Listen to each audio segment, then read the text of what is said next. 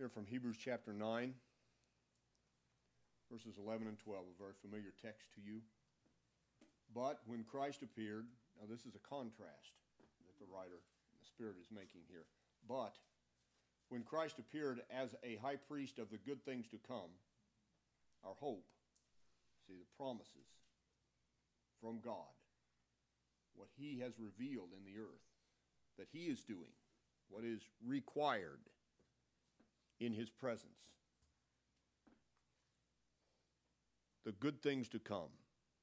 He entered the greater and more perfect tabernacle, not made with hands, that is to say, not of this creation and not through the blood of goats and calves, but through his own blood.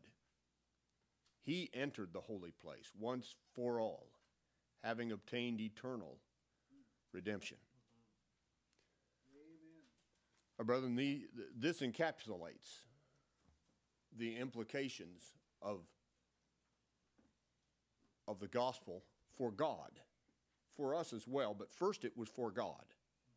He needed one, he required one in his presence who fulfilled his will, uh, who kept his righteousness and his truth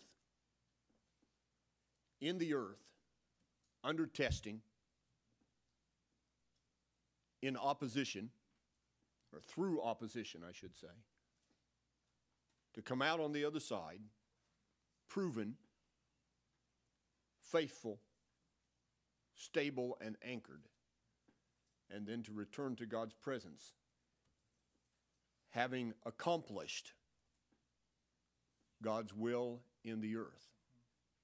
The things that he had made known that were necessary, the testimony in the law of Moses, in the sacrifices, in the priesthood, in the tabernacle, in the feast days, all of these things are what God had made known about what was required for his righteousness and his truth.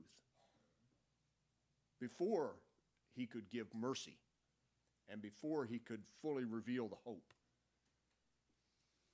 these, that, that this, this hope that has implications in us, for us and in us, that works then in us. These good things to come. We, we have one in the presence of God, like us, mm-hmm. who's endured, who has passed through, who, who pressed to take hold, did not let go of the things granted him by his Father.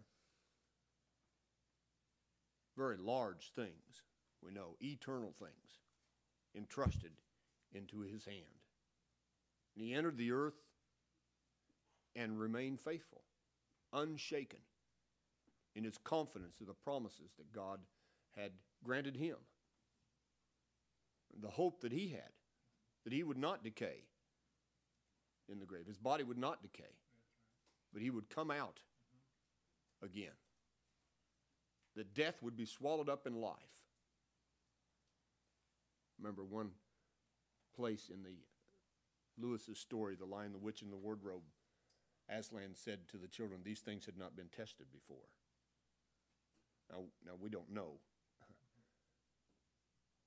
Uh, they'd certainly not been tested in the earth, had they? These things that Jesus himself endured, they'd not been tested in the, in the human experience. And Jesus tested them and found them true, showed us that they were true. That this was a certain promise. That is, it, it, it, it could not be broken. It would pass the test.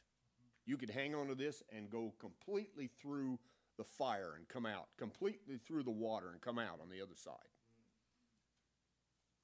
The good things to come. Now, we've tasted of those things now.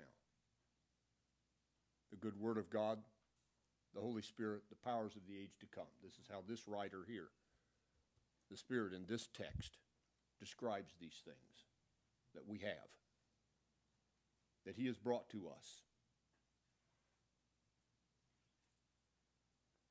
And He did this in His own life, His own blood. The text says, but we know that the life is in the blood. His life was offered to God, and it was accepted, approved. He gave his life to the curse, but then took it again, as the Father promised, took it back up again, and returned as a testimony and witness to those chosen witnesses that they could then go out and speak of these things and, and speak in such a way with an unshakable hope. It did not matter. You decide, Peter said, whether it is right for us to obey God or men. We cannot do that but which we cannot speak that but which we have seen and heard. You decide for yourself, we've decided. And they would not be shaken then from that hope. Not at all. And of course, our brother Paul affirmed these things in his own life and writing. Having obtained eternal redemption. Now, of all these things, of course, this is what we come to the table to remember this redemption that is in him, not, not in our not in our religious tradition, certainly not in our own imaginations,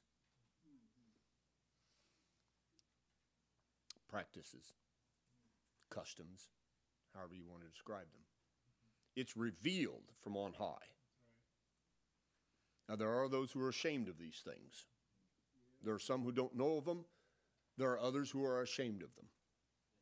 Or, or they think that they're just some kind of a secondary thing on the list of God's revelation and so forth. And they've chosen to emphasize uh, other things that, that the scriptures may speak about. Because the scripture speaks about probably everything, even if it's just a, a momentary mention. it speaks about everything. But God has a focus and an emphasis. First of all, it's his, it's his own self. And then this great redemption enhances his name and his glory. And those of us who partake of it do as well. And so that's why we come to this table to remember our participation in him who gave his blood and brings us the fullness, the fullness that we have for now of these good things.